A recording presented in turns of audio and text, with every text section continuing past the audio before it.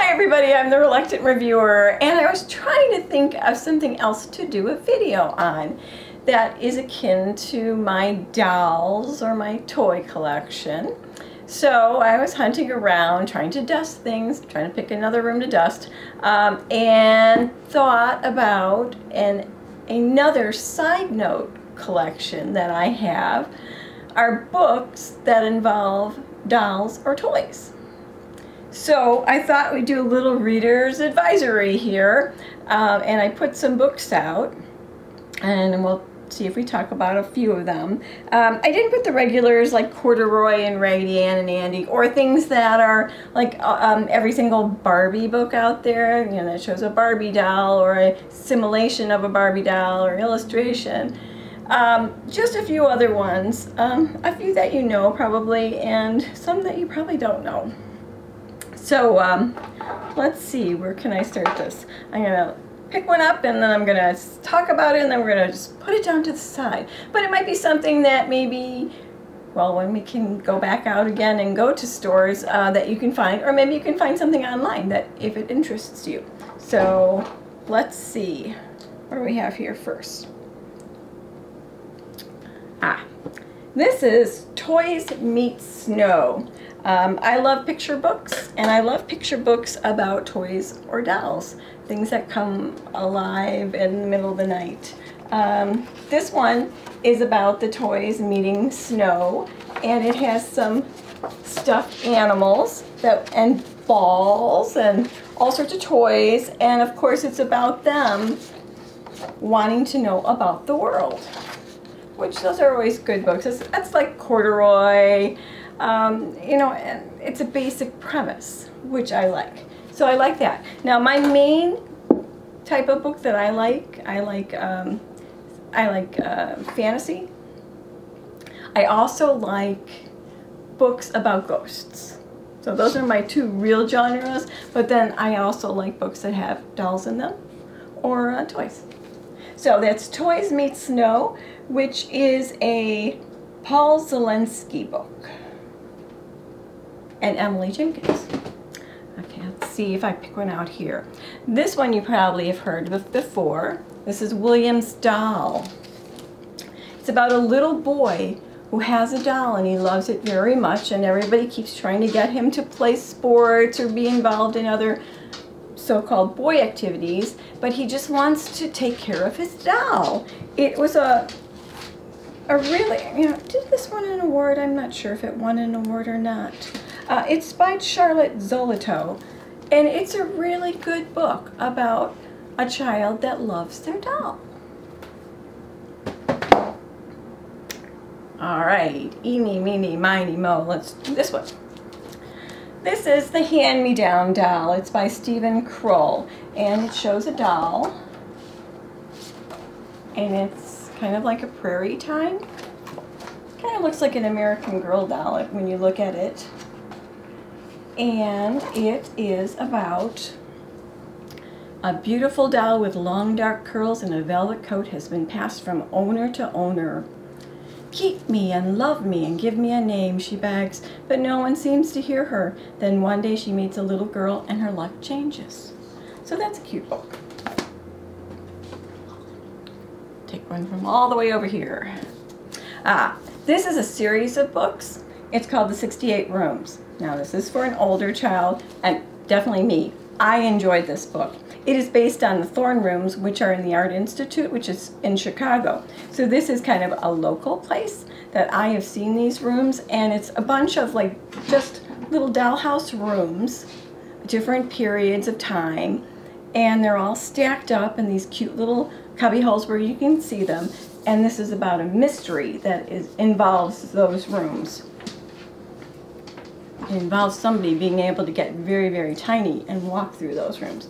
Um, I love this series. I just, this is kind of a mystery, but still fantasy too, so I enjoyed it. And it's by Marianne Malone. I think there are five books maybe? Can't remember. I didn't grab them all off the shelf. But this is the first one, The 68 Rooms. Unlock the Magic of the Thorne Rooms. Here's one, The Very Best Doll. This is about a little girl that has a doll, kind of like a rag doll maybe, and uh, she's had her forever. And then she has a birthday and she gets a fancy doll that you can go fix her hair and and um, in the end, and she's got a wardrobe too, the, the new doll. In the end, she really wants her old doll to be with her new doll so that they're together. So it's a cute little story. This is the new doll and that's the old doll. We this one. When You're Not Looking. This is a story time counting book and it has lovely illustrations in it. Teddy bears. I used to get these when um, they weren't in circulation anymore. Oops, oops, where's the other toys? Over here. There's a rocking horse that talks. There's a Raggedy Ann type doll, cloth doll. There's all the toys in the room.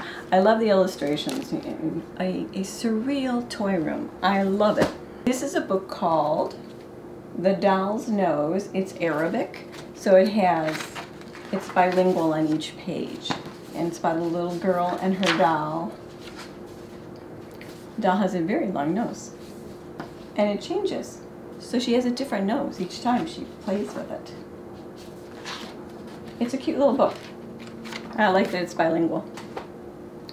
Here's another book. This one is by Cynthia Rylant, uh, The Ticky Tacky Doll. Gotta love a cover like that. It's, it's a pretty interesting cover, cover on it. Starting school can sometimes be hard, especially when your best friend can't be by your side. And that would be her Dolly, who is always at her side. And now she's going to school and she's lonely without her. Kind of a basic premise. It's all about the illustrations. Betty Ren Wright. How many people read these books? Uh, a lot of mystery books. This one is called The Dollhouse Murders, and obviously I have it in my collection because it's a dollhouse. It's a really cool story. Here's one. It's by Eve Bunting. This is a little different. This is called Doll Baby but it's about a young girl who remembers her doll and she still has her doll and she ends up being a young mom and realizes that having a real baby isn't quite the same as having her doll that she still has but uh, it's it's it's pretty I love the illustrations thought-provoking uh, this one is a advanced reading copy book I don't have the uh, whole original one. It's called The Adventures of Minnie by Melodye Benson Rosales. So you can see there's a doll and there's a bear and it's a set of series. A little brown rag doll and from the moment Hester sees it she feels something warm and familiar. Her grandmother says the doll is special so Hester knows it must have a special name. And it's kind of like an American Girl kind of little series. Um, the lady that did this, she did write for um, for Addy's books. So it's kind of a cute little story. Gotta find a way to keep it together. Over here we have Tub People's Christmas. Now there's a first book called Tub People, and it's about the bathroom toys, the little tub people that's, that you play with and one gets lost. Uh, I couldn't find my regular Tub People, but this one is in addition to it for Christmas. I like the little people books. Ah, this one, we know Winnie the Pooh is a toy. And if you look at this book, um, it's this is an old one. I've had this for a long time. It was $1.95 when it came out.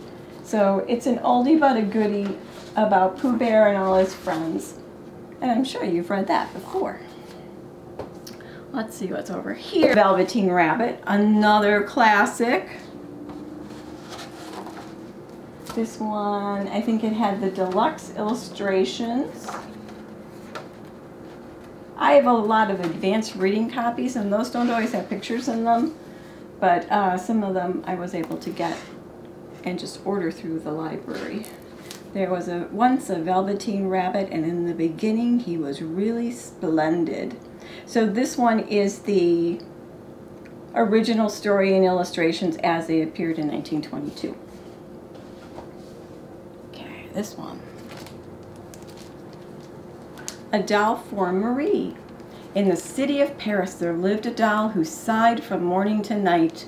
She sits in an antique shop surrounded by old vases and teapots, and she's lonely. She longs for a little girl to play with.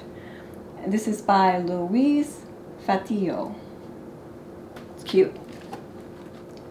Uh, more black and white illustrations, but it's kind of like along the line of Madeline when the illustrations are. Uh, this one's not per se toys, but it's kind of like an amusement park. So when you see those bigger than life kind of things, to me I think that's pretty cool. So I could see those being in a nursery somewhere. This is Ticket to Ride, Tickets to Ride an Alphabetic Amusement by Mark Rogalski. And I just love the pictures in it. Oh, I love that. The ducky is so cool. Big eyes. Oh, so many cool rides. So it's really neat for illustrations if you like art books. Uh, this one, well, these three, I'm sure everybody knows these. The Lonely Doll by Dare Wright. Um, this is another set of them. I have a gift from the Lonely Doll and Edith and Mr. Bear. I need the other ones. These are really cool and it's only because I love the illustration inside because it looks like it's a Lenci and she's got the bear and it's all done as pictures. And I think oh why can't I just make a book like that? You know a really cool one like that with uh, just illustrations of the doll and her friends. But I love these books. Um, some people say occasionally that um, Bear is a little mean that he spanks her in the book when she's bad. Sometimes, usually she gets into trouble and Bear is not happy with her and then she wants Mr. Bear to like her again, so she becomes a good girl. What else we have? This is The Dollhouse Fairy by Jane Ray. What would you do if you discovered a real fairy living in your dollhouse? When Rosie's father gets sick and has to go to the hospital, Rosie is surprised to discover a fairy named Thistle inside her dollhouse. Thistle has hurt her wing, so Rosie takes care of her while she heals. But Thistle is full of fun and mischief. So, it's about a dollhouse. We love our dollhouses. And a fairy, a mischievous fairy. The Richest Doll in the World by Polly M. Robertus. It's only been a few months since Emily's parents died. Now living with her grandmother, Emily has to stay with a babysitter on Christmas Eve while Grandma Rose cleans house for Mrs. Begley, an old lady who lives in a mansion all by herself, except for her antique doll, Delilah. Delilah wears fancy gowns and jewelry and has her own little rooms and garden and Emily decides that tonight she will finally see the richest doll in the world. Um, this is all text, you know, fun little pictures, but it's a story about a dollhouse. Dolls of Hope. This is by Shirley Parenteau, and this is about the uh, friendship dolls that they did in um, the friendship dolls that arrived from America to Japan. So it's an interesting little kind of history story for the older reader. The little engine that could. Now we all love that. I mean, those are toys. Toys and clowns and fun stuffed animals and more toys and monkeys. And where's the little dollies? Each illustration, each one has a different kind of illustrator. I've got like three different, the little engines that could, and each one is done differently a little bit. Oh, there's the dolly there. The, uh, she's got a little Indian doll, she's got a baby doll, but it's cute. There's always good illustrations in the little engine that could.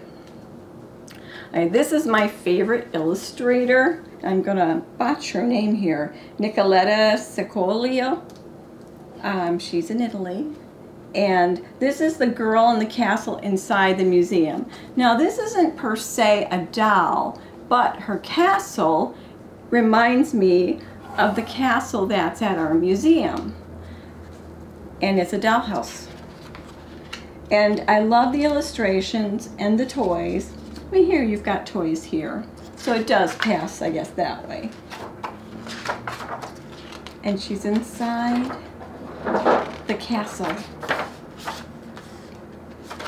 And she is my favorite illustrator. So if you ever get a chance to see some of her work, look for it. Some of it's a little avant-garde, kind of a little out there, but there's some really precious faces in it.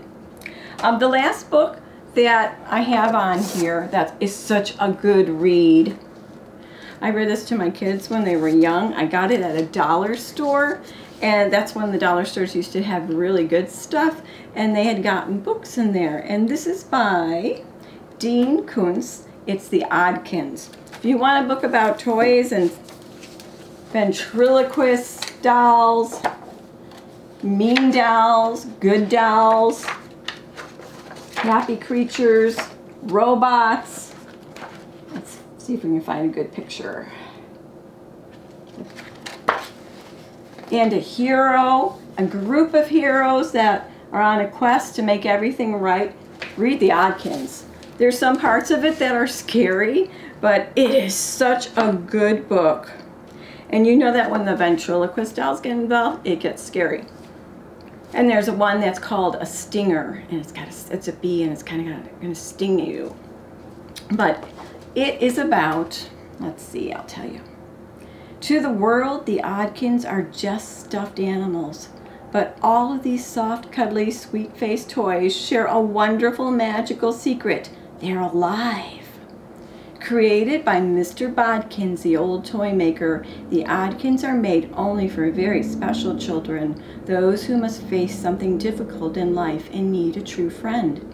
The Oddkins are given to these children to inspire them, help them, and love them as long as the children need them.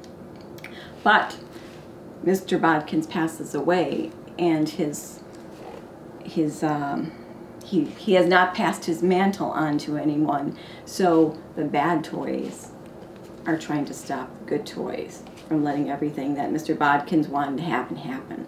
So it is really a good book.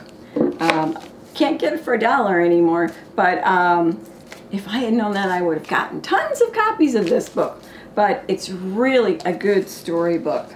And it's long because it's supposed to be considered an adult book, not a kid's book. But it's a really good story. So I thought that this would be something different that we could talk about. Um, like I said, I like fantasy and I like ghost stories. Um, those are my favorite. So what are your genres of books that you like? And um, that's what we did today and I'll talk to you later. Bye.